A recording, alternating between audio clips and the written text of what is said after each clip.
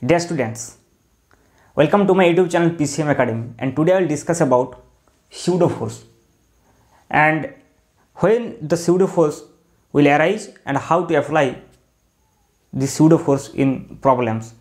By using the concept of pseudo force, we can solve many problems mainly on classical mechanics and actually when we are talk about in the chapter Newton's law, friction, etc. So in, in, this domain, this concept of pseudo force for solving problems, of course in circular motion, in whole the classical mechanics actually, the concept of pseudo force is very important.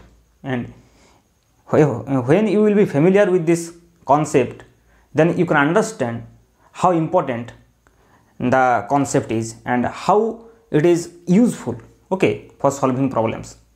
So today i will discuss about this concept pseudo force and you know this is the lecture series for JEE main and advanced. Okay and we have uh, discussed some important topics till now um, based on constraints equation. Probably last class i have discussed about constraints equation and some problems based on mass pulley system and wedge constraints etc so today my topic is just pseudo force okay so let me take some example and with the help of example first i, I like to um, understand about to let you understand about the pseudo force then i will also generalize this thing uh, according to your need. Okay because this is a very you can say this is uh, if, if you talk about in in your 10 plus 2 level then this is very simple. But uh, uh the Coriolis forces are also, forces are in also included in in this domain that is pseudo force but i am not going to discuss about this kind of things. There is syllabus of BSc Honors Physics. But just I like to give you the concept of pseudo force in some particular system so that you can solve problems simply. Okay and uh, the most significant system you can say the motion of lift when the object is inside the lift. So i will start with the topics of motion of lift and i will repeat this concept again in the chapter circular motion. Okay when i talk about the uh, centrifugal force and centripetal force. Then i will also uh, tell you this uh, about this pseudo force. But before going to this concept this important concept or this very popular concept i like to give you some concept of frame of reference. You might have studied the concept of frame of reference and coordinate system like cartesian coordinate system cylindrical coordinate system plane polar coordinate system. You might have familiar with this kinds of situation but the frame of reference that i am going to discuss here is actually from the physical property from the point of physical point of view. You know these things some uh, mathematical aspects that is in terms of coordinate system but i like to give you some concepts about uh, the from the physical properties of, of a of a frame of reference. Okay. And actually this pseudo force you know this uh, pseudo force is actually not a real force. Okay. So it is only arise in some particular uh, some particular frame of reference. In mechanics you know the role of um, not only in mechanics but you know in physics actually in various branches of physics the frame of reference plays a very important role. Okay. So we have to understand first about the frame of reference. Then i will tell you in which frame of reference the pseudo force will arise. Okay. So before going to discuss more about pseudo force let me give you the concept of frame of reference from the physical point of view. Okay. So in very basic sense you can say that frame of reference are, are of two types initially okay. Initially i can divide this frame of reference into two types. One is the very familiar that is inertial frame of reference. Inertial frame of reference. And the second one is non inertial okay non inertial frame. Second one is non inertial non-inertial frame. Now, this non-inertial frame is very important actually. though this non-inertial frame can be of two types. Okay one is translatory and another is rotating. Rotating frame of reference i will discuss these things also. So what is actually mean by inertial frame of reference? Inertial frame of reference is that kind of frame of reference which is at rest or in a constant motion constant velocity. Motion if there is motion but the motion is with constant velocity. So you know about the what is actually mean by frame of reference? Frame of reference is a physical system you can say or a geometrical point you can say with respect to which we can locate a system any system. It may be of motion of some particular object motion of a system of particles. So it is frame of reference. You can see you can say it is a system or maybe it is a point. With respect to which we can analyze the motion of some other system or some other objects. So that is why it is called the reference okay? Sometimes it, it, it will appear in the form of reference line. Sometimes it will appear in the form of reference point. But actually what is meaning of this frame of reference is it is a geometrical point you can say or a system you can say with respect to which the other system is analyzed. Or in very fundamental you can uh, you can uh, say that frame of reference like let me take a two dimensional coordinate system. If you take a two, uh, two dimensional coordinate system like this so this is x y two dimensional coordinate system and this is the origin. So we can take this as a frame of reference and with respect to this origin this point we can locate another point p here. And we can uh, say that the position vector of p with respect to is r. Now if the point is moving in any in any sense if the point is moving then we can analyze the motion of this point or maybe here is a particle or a system of particle. And the motion of this point or a point particle or a system of particles we can analyze with respect to this point and all the physical quantity or the dynamical variable involving of the point involving with the point point particle p we have to analyze with respect to some points or some systems or some frame. That is called actually frame of reference.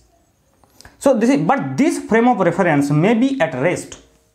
This frame of reference may be at rest or maybe at constant motion maybe with motion with an acceleration maybe this frame of reference is accelerated.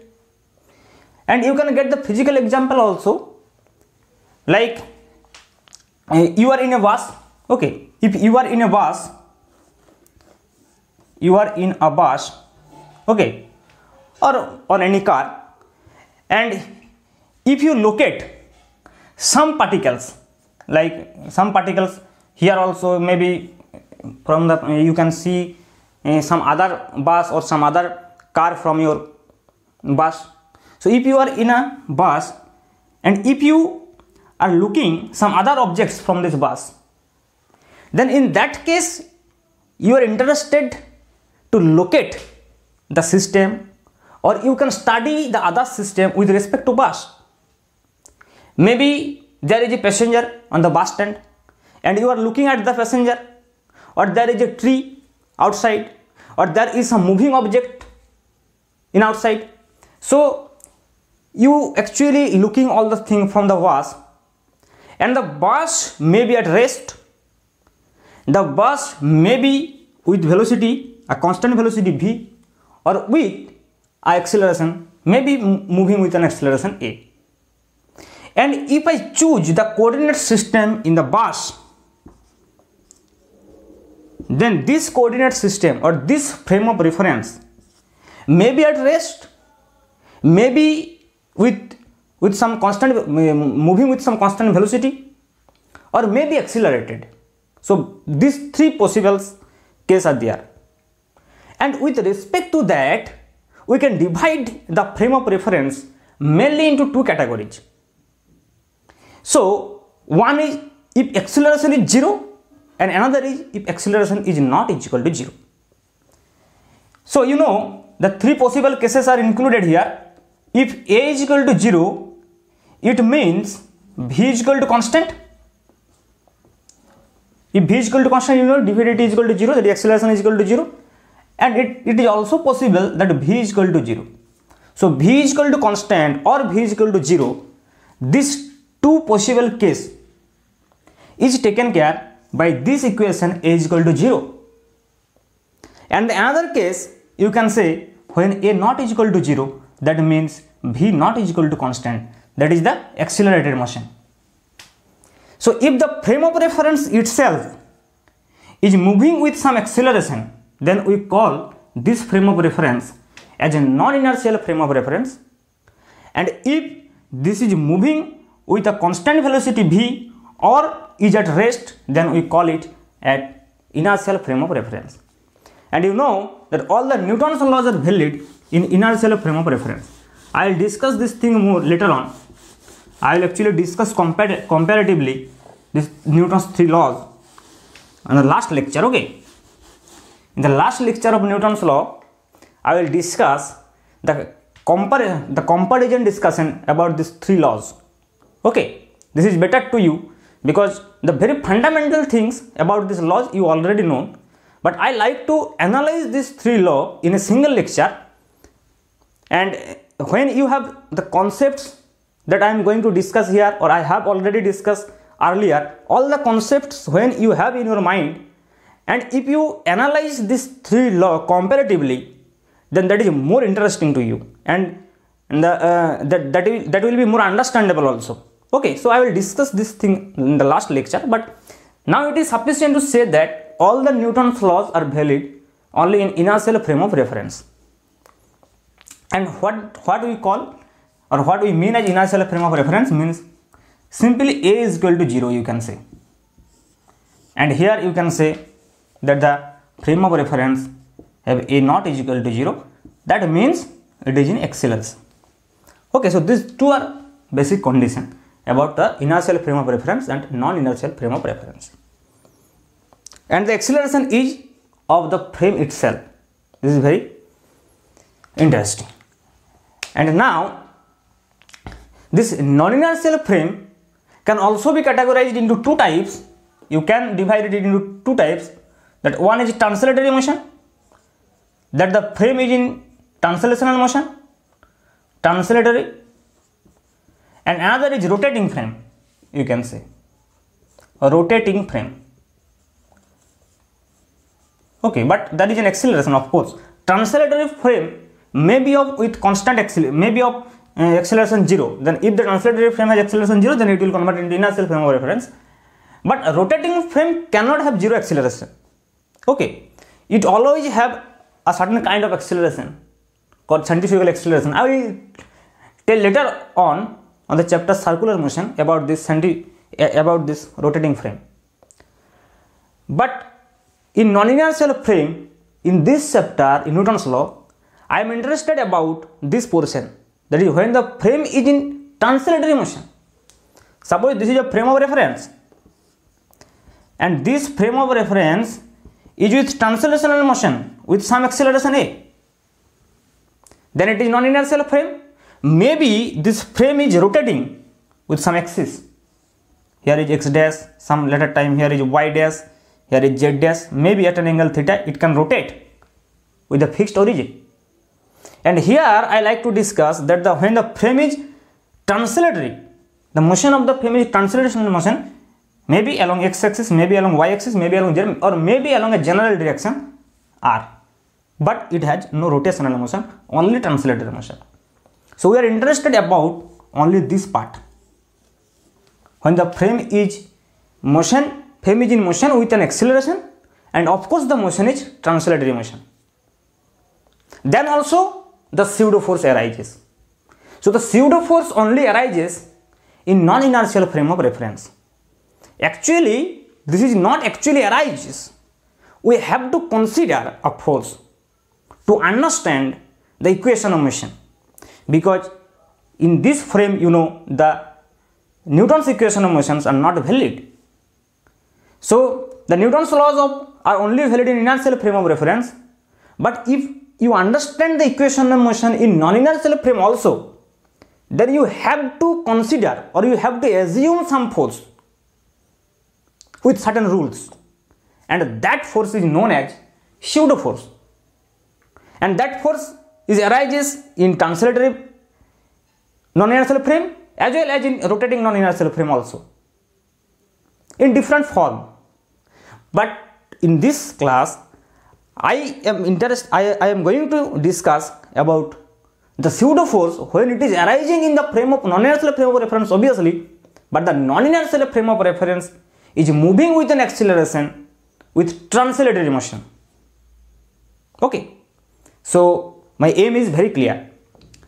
So we have to discuss about the translatory motion that is in the in, in, in, the frame of reference which is in translatory motion but with an acceleration obviously. Okay. So let me choose some physical system first.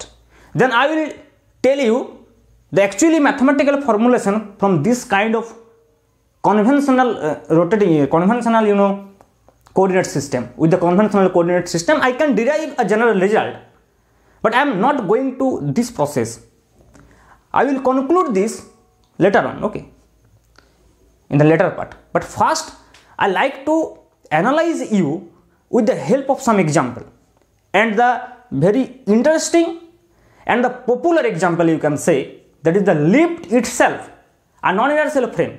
You know lift is moving upwards or downwards with some acceleration so when a object is within the lift or a person is within the lift and if he wants to analyze the motion of some objects inside the lift or if you want to write down the equation of motion inside from inside the lift then you are in a non-inertial frame because the lift is moving either upward direction with an acceleration or downward direction with an acceleration and we can only assume the lift as non-inertial frame of reference when it is with an acceleration in upward direction or in downward direction. Okay so let me take a translatory non-inertial frame as a lift. Okay so then we will come to the conclusion that what is the form of pseudo force in translatory rotating frame? Okay so let me take the example so first let me take a lift motion of lift so this is very popular example and you will be understand easily what pseudo force actually is. So let me take this is a lift. Okay. And here is a mass m. And a person who is in the lift want to write down the equation of motion of mass small m. So first if you want to write down the equation of motion from the ground that we have already done. So let me first write down the equation of motion equation of motion from ground. That is obviously inertial frame. So this ground is obviously inertial frame but this is a non-inertial frame. So if you see the object from ground that is from inertial frame of reference why it is inertial is rest ground is taken as rest and this is so this is at inertial frame. So if you talk about in broader sense then the earth itself a rotating frame so it is a non-inertial frame. But for this case we can assume that the earth is at rest and the lift is moving with an acceleration a upward in upward direction. In upward direction. So now if we analyze the motion from the ground what we like to say this is the force in which is acting upward direction and the mass mg here. And the equation of motion of this object from the ground will be nothing but the Newton's equation. That is summation f y you can say along the y axis is equal to mass into acceleration along the y axis and that is obviously n minus mg is equal to ma. So n will be mg plus ma. This is the outcome you know. Okay. So we know that the normal reaction is greater than our actual weight in amount ma of amount ma so we feel ourselves heavier when the lift will moving upwards. This is already you know. And i have analyzed this equation of motion to determine the normal reaction of this mass from the ground. Now what I am going to do, I want to write down the equation of motion from the lift. Okay. So this is with respect to ground. With respect to ground.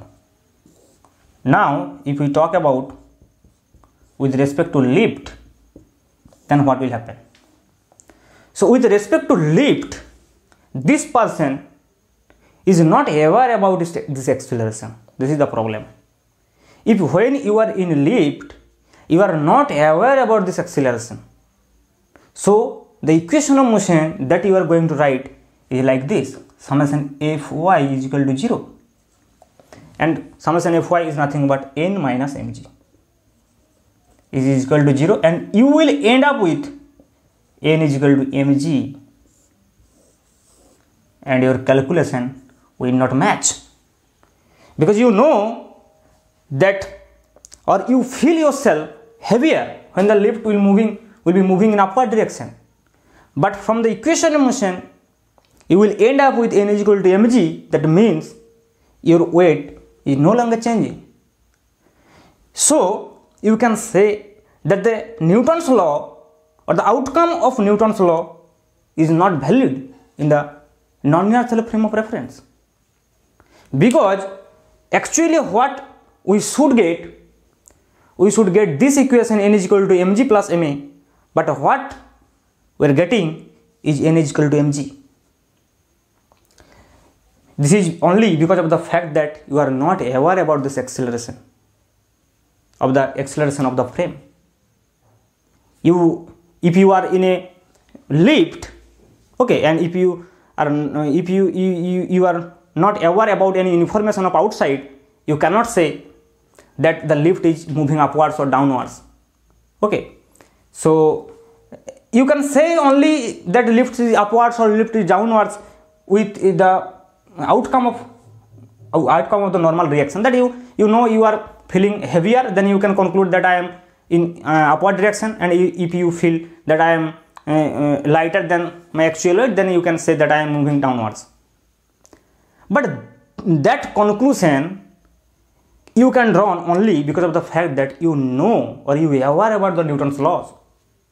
Without any physics you cannot say. Without physics you cannot say inside the lift that you are in upward or in downward. So in that case with respect to lift this equation is no longer valid. Or you can say in non-inertial frame of reference Newton's law is not valid or the outcome of the Newton's law is not suited so what we have to do to match with this equation you can see that if summation fy is equal to 0 and if we take some extra force which is obviously opposite to the acceleration of the frame of reference. If you take an extra force here, ma in downward direction, then what will be your equation of motion? Your equation of motion will be n minus mg minus ma is equal to 0 minus ma is equal to 0 because you cannot say that summation fy is equal to ma because you are not aware about it, this acceleration. But you can assume a extra force which is in the direction opposite to the direction of the frame of reference. And it can be proved mathematically. But if you can see here that if you this force is not actually not acting on the mass m we are going to just assume this force to match with this equation. This actual result.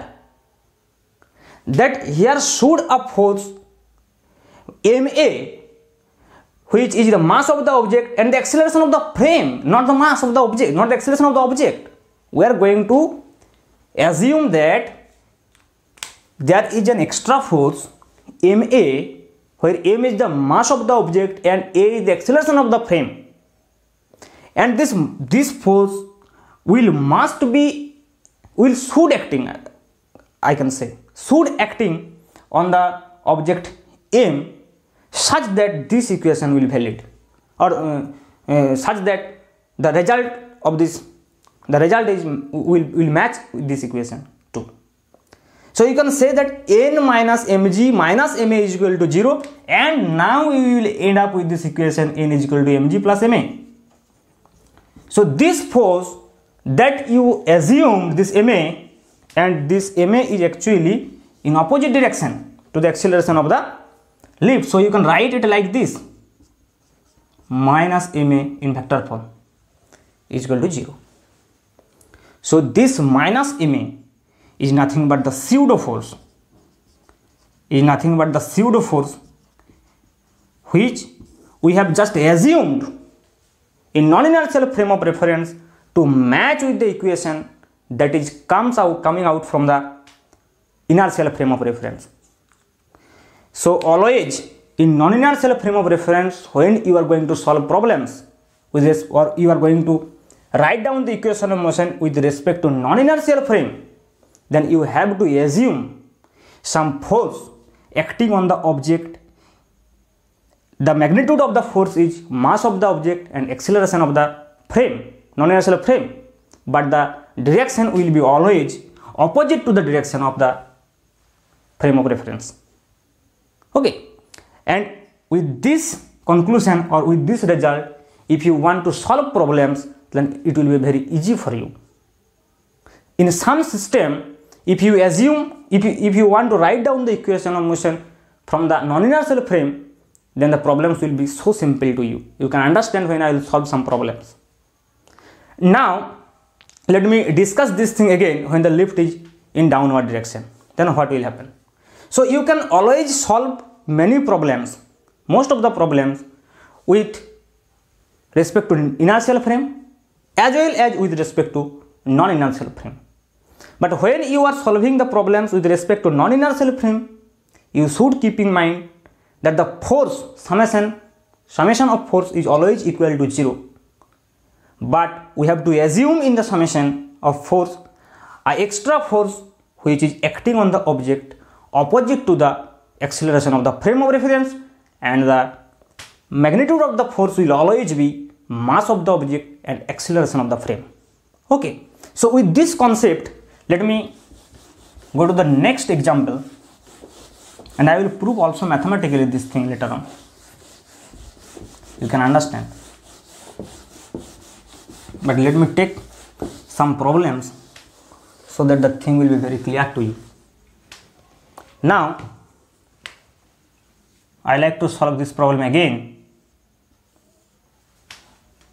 When the lift when the lift is moving in downward direction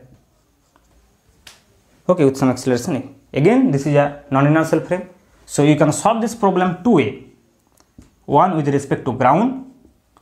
You can you can write down the equation from the ground or from the lift. So if you write down the equation with respect to ground that will you will already know. You are aware about this thing. Till now I have solved all the problems with respect to ground or you can say with respect to inertial frame of reference. With respect to ground means with respect to inertial frame. With respect to inertial frame. Okay. So what are the forces acting? One is the mg which is downward direction and another is normal reaction which is in upward direction. And again let me use that summation fy is equal to m into ay and what is the summation fy we have to take here the positive direction as downward direction because the acceleration is in downward direction. I have told earlier that you always use the positive direction in the direction of acceleration. So here what will be summation fy will be mg minus n is equal to mass into acceleration. Okay. So n will be nothing but mg minus mn now you can end up with the same result with respect to lift or you can say with respect to non-inertial frame. With respect to lift means with respect to non-inertial frame.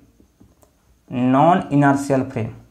Now what we have to assume, we have to forget this about this acceleration and we have to add a force mass into acceleration m into a where m is the mass of the object and a is the acceleration of the lift but the direction of the force will always be opposite to the direction of the frame. That is the direction of the acceleration of the frame was downward direction. So the pseudo force that will act on the object will be in upward direction. And the magnitude will always be mass of the object and acceleration of the frame. Okay. So you can forget now this about this. And now if you want to write down the equation of motion you will always write down that if summation fy is equal to 0 then you will get again mg minus n minus ma is equal to 0 so you will get n is equal to mg minus ma so you can see that these two equations will give you the same result. Only when you take this force assume this force and this force is always called as pseudo force okay and this is not a real force. We have to assume this force to match with this equation.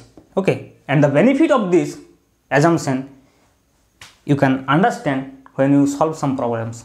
So each and every problems can be simplified or can be understand or can be solved by using these two methods. Okay now let me take another example. Another example okay you can see this example in many books. And you can solve this example with these two concepts. Sometimes the problem will be very simple only in non-inertial frame. I will tell later on these kinds of complicated problem. But first first uh, i like to give you the simple problems so that you can use the problems in two ways okay? So let a train or bus a compartment of 10 you can say or a bus you can say. And it is better if you assume this as a compartment of 10 and a pendulum is hanging from the ceiling or mass m now what will happen? If this compartment will be moving with an acceleration a then this will be at this position suppose. And at this position let me suppose that it is in equilibrium making an angle theta with the horizontal you are giving only the acceleration and you can take the gravitational acceleration g. And what you have to find out what is theta? So what are the forces acting on this mass in this position? You can see here. So if i draw separately. This is theta and this is mass m. So one force is obviously downward direction mg and another force is t. Okay t is not along this direction. T is along the rope you know and it is always outwards from the object. Now these forces are not along the two perpendicular axes i have told earlier that you have to resolve the forces along these two, two direction if the forces are not already in these two direction. So you can assume that mg is always in the or, or mg is already in the negative y direction. So you can choose a coordinate system here. So if this angle is theta, so this angle will obviously theta, and this t now along this direction will be t cos theta, and along this direction will be t sine theta. Okay. Now if you solve the problems with respect to ground this is the free diagram actually with respect to ground. So with respect to ground let me first analyze this problem. With respect to ground.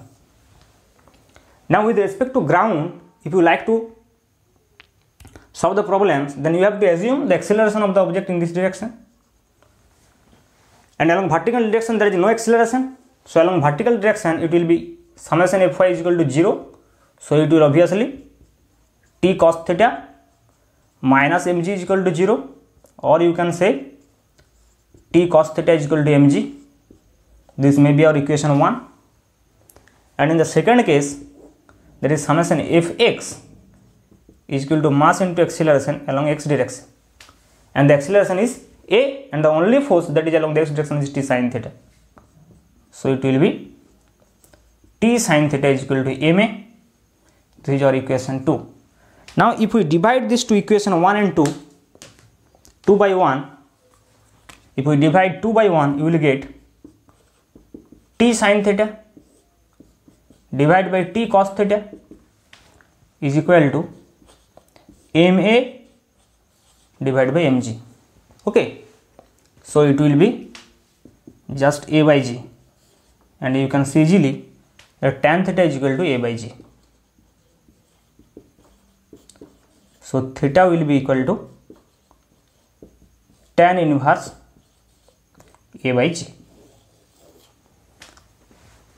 Now if we solve these problems again with respect to train or with respect to the compartment so let me solve this problem now with respect to compartment or you can say with respect to train so now the frame of reference is non-inertial frame. So what you have to add in the free body diagram that you have to forget about this acceleration and instead of this you have to assume a force opposite to this acceleration and the magnitude of this force is mass of the object and acceleration of the frame. And now you will end up with this equation summation fy is equal to 0 it is obvious both the cases because there is no acceleration along this direction but this equation will now will now change. How it will be changed?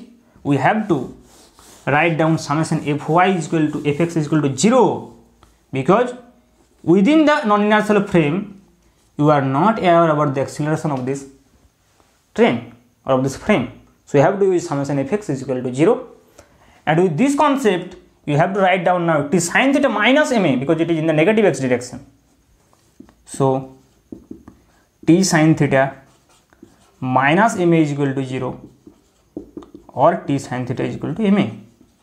So you should be very careful about this thing when you have to use this और when you have to use summation F is equal to M A so this is our now equation two and if you again divide two equation you will end up with this same result that is tan theta equal to A by G so theta equal to tan inverse A by G are you understanding about this concept? Now i will tell you why this is assumed like this. Mathematically we can prove also it. Okay so now let me prove mathematically the appearance of this pseudo force. Okay so let me talk about mathematically. This is very interesting.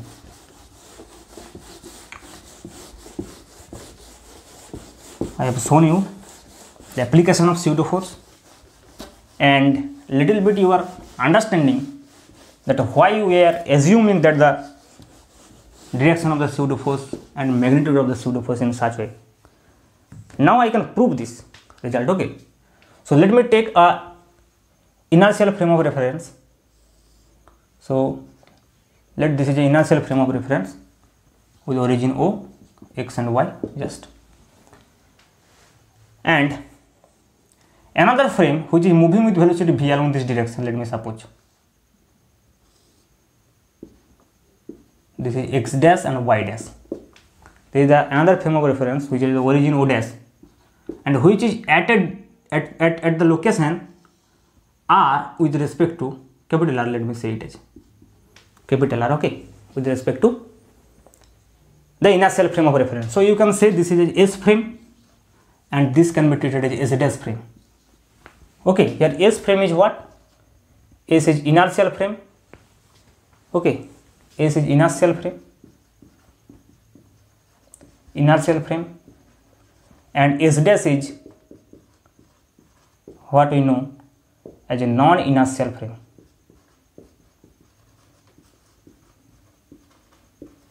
Non-inertial frame.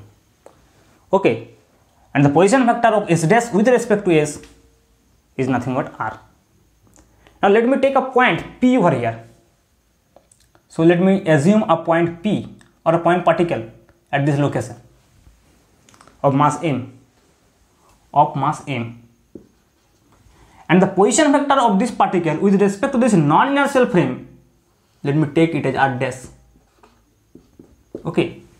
And the position of the point with respect to this s frame or this inertial frame let me take it as small r this is capital R so what is small r small r is the position vector of the particle with respect to s frame that is inertial frame and r dash is the position vector of the particle p with respect to the s dash frame that is non-inertial frame and r is the position vector of the non-inertial frame with respect to the inertial frame. Now what is the relation between capital R, small r and r dash? You know from the vector triangle law that is r plus r dash is equal to small r. You have this equation using the simple triangle rule that is r plus r dash is equal to r. Okay. So now what I am going to find out? The forces acting on the particle. The forces acting on the particle with respect to non-inertial frame. Okay. With respect to non-inertial frame what is the forces acting on the particle?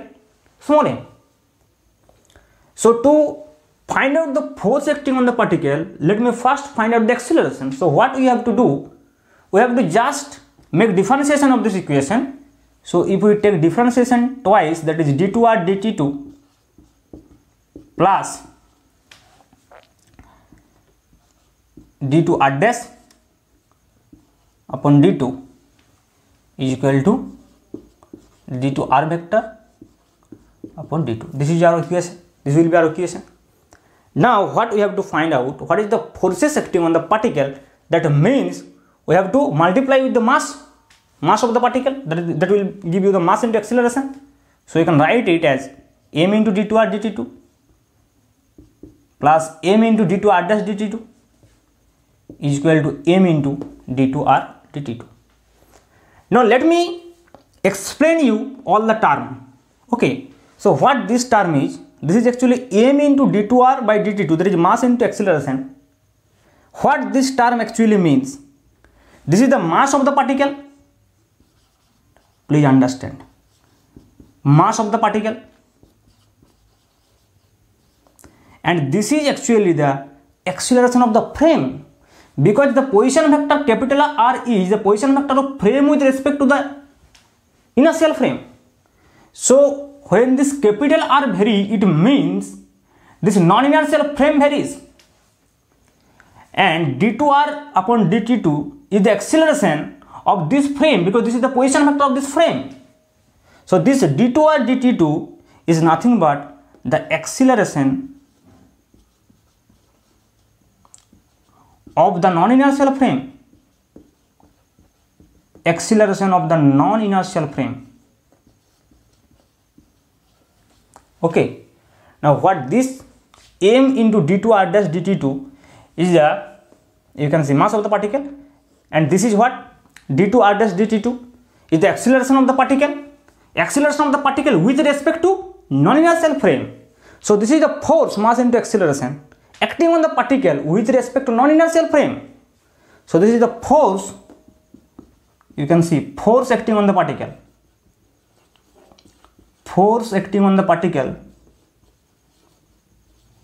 with respect to, very carefully about this thing, a non-inertial frame of reference. With respect to non-inertial frame.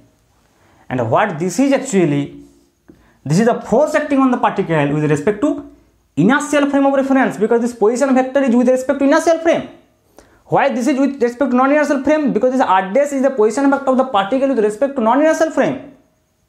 So the acceleration in terms of r dash, this equation d2 r dash by dt2 means the acceleration of the particle because this is the location, the position vector is particle, so it is, it is the acceleration of the particle so mass of the particle and the acceleration of the particle is nothing but the force acting on the particle, but it is with respect to non-inertial frame.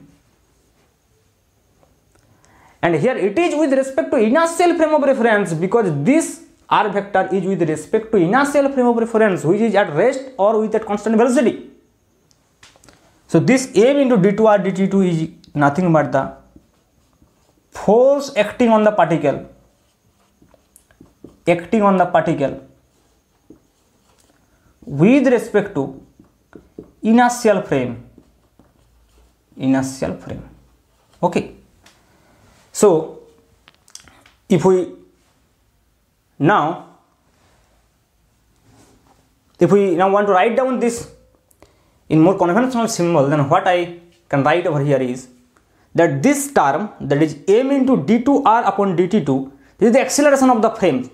And you can relate when I am assuming the lift is in upward motion with an acceleration a this a is actually representing the acceleration of the non-inertial frame. So this d2 or dt2 is nothing but the acceleration of non-inertial frame. So we can denote this as a. So let me take this as a. So m into a vector. Plus you can write this as a force force acting on the particle with respect to non-inertial frame so let me take it as f dash. And that is equal to f. Let me take it as f that is force acting on the particle with respect to inertial frame. Now what is our goal? Our goal is to find out the force on this particle with respect to non-inertial non-inertial frame of reference because we are interested to write down the equation of motion with respect to non-inertial frame. So what is the force acting on the particle with respect to non-inertial frame is just f dash. So if we rearrange this equation, you will get just from here that f dash is equal to f minus ma. That f dash is equal to f minus ma. And that is our required result actually what I am discussing from the very first. Okay, that the force acting on the particle with respect to non-inertial frame is nothing but the force all the force acting which are actually arises in the system plus some extra force that is minus ma. It means that the force acting on the particle is opposite to the direction of the this negative sign actually implies that the direction of the pseudo force is opposite to the direction of the direction, direction of the acceleration of the non-inertial frame and its magnitude is mass of the particle and acceleration of the frame. So this is finally we will get this relation in vector form and this is the most useful relation. And you can conclude this as like this that f dash is equal to f vector plus fp vector. And fp is nothing but the pseudo force which is minus ma okay but you know when when i am solving the problems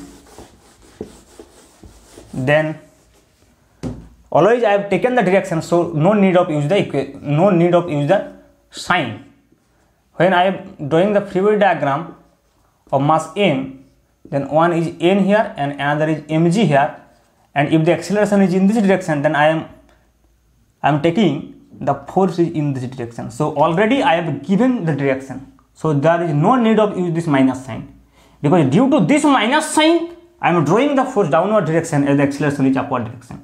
Similarly, if acceleration is in downward direction, then I have to draw the force in upward direction. This is due to this negative sign. So we, we, we do not need actually to use the minus sign here. Okay, due to this minus sign, we have already this minus sign we have used already the significant of minus sign. That it is opposite to the frame of the acceleration of the frame. Okay. So this is the concept behind the pseudo force. And i can i am also told you that i have also told you that what is the concept behind the pseudo force and how you can use this pseudo force in different problems. Okay. Next i will solve many problems. Okay problem sessions. I will solve the problems from S. Verma, D. Pandey from all the books. Okay, later on. But first, my goal is to make you understand the theory completely with some examples. Okay, with some not very difficult example, but with some examples that the concept will be clear to you. Then I will move to problem session for each of the chapter after covering the lectures. Okay, thank you.